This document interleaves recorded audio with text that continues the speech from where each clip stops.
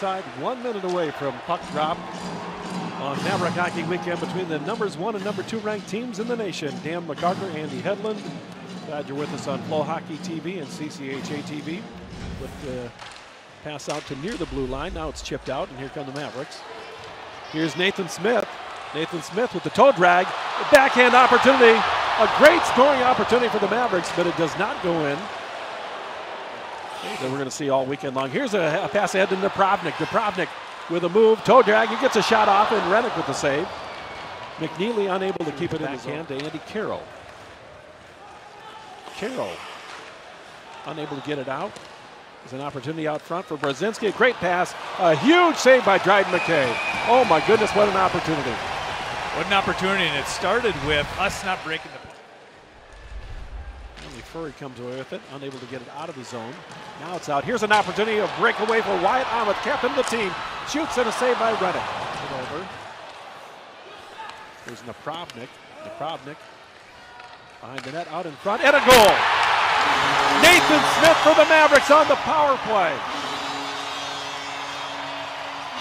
Nathan Smith on the power play at 18:55, and it's the Mavericks one nothing. Incredible pass. To Borchardt.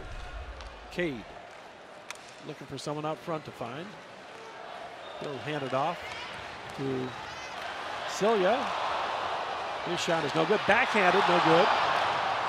Really good back. Napravnik here to come the Mavericks, but they turn it over. Breakaway Nathan Smith. Open net, and he's unable to get there in time. Red Orchard. Opportunity out in front. Oh, what a scoring chance for Cade Borchardt, unable to put it away. Mavericks buzzing with 140 to go. Two seconds, one second. There it is. Dryden McKay has just tied the all-time NCAA shutout record. Mavericks win 1-0 over the Huskies of St. Cloud State. Ryan Miller and Dryden McKay now are tied at 26 shutouts. Unbelievable. Unbelievable. Can we get it tonight against get the number tonight. two team in the country? At home, home opener. It's exciting. Couldn't ask for much more than that. Dryden McKay, his 26 shutout, trying, tying Ryan Miller.